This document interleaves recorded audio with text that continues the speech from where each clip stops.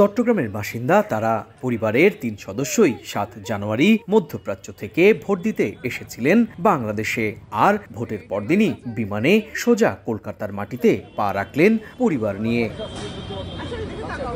শুধু তিনি নন ঢাকার মিরপুরের বাসিন্দা এই প্রবীণ দম্পতিও এখন কলকাতায়। রোববার ভোট দিয়েছেন তারাও।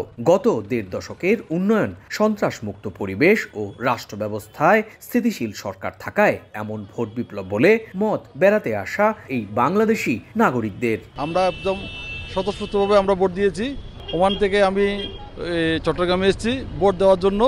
ভোট দিয়ে আমি আবার কলকাতা চলে আসি। বাংলাদেশের প্রধানমন্ত্রী হিসাবে দেশের অনেক উন্নতির মানে অগ্রগতির অনেক কাজ করেছে, খুবই ভালো। আমাদের চট্টগ্রামে তো অনেক উন্নতি হয়েছে। বিশ্বের অন্যতম ক্ষমতাধর নারী রাজনীতিকের মুকুট অনেক আগেই মাথায় পড়েছেন বঙ্গবন্ধু কন্যা।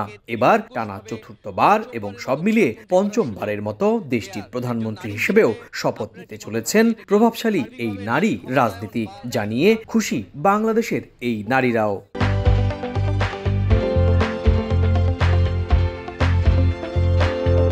দেশের অনেক উন্নত করেছে কাজকর্ম আমাদের রাস্তাঘাট ব্রিজ কালভার্ট মেট্রো রেল অনেক কিছু। বার্তা পাঠায় আসলে কোনো কাজের কাজ করে না। মানে দেশে অরাজকতা অগ্নিসংযোগ সন্ত্রাস কায়েম করার জন্য এগুলা করতেছে। দেশ ভালো তো সব ভালো। আমরা তো দেশের শান্তি। উনি যথেষ্ট উন্নয়ন করছেন আমাদের দেশের। আমরা তো অবশ্যই গর্বিত। আগেই আমরা সেলিব্রেশন করতেছি এখানে বসে। পদ্মা সেতু হয়েছে আমাদের মেট্রো রেল হয়েছে এক্সপ্রেসওয়ে হয়েছে এটা শুধুমাত্র একমাত্র শেখ হাসিনার জন্য হয়েছে। সাত জানুয়ারি ভোটের কারণে পর্যটকের সংখ্যা কমে গেলেও ভোট শেষে পুরনো ছন্দে ফিরেছে বাংলাদেশি অধ্যুষিত মধ্য কলকাতার নিউ মার্কেট এলাকা। আর বেড়াতে আসা বাংলাদেশি পর্যটকদের মুখে মুখে এখন বাংলাদেশের নির্বাচনের ফল নিয়ে উচ্ছ্বাস, উন্মাদনা। চোখে মুখে তাদের উন্নত বাংলাদেশের স্বপ্ন।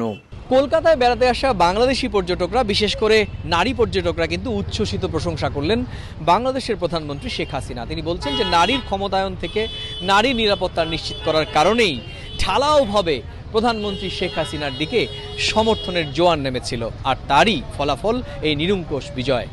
কলকাতার মার্কো স্ট্রিট থেকে সুব্রত আচার্য, সময় সংবাদ।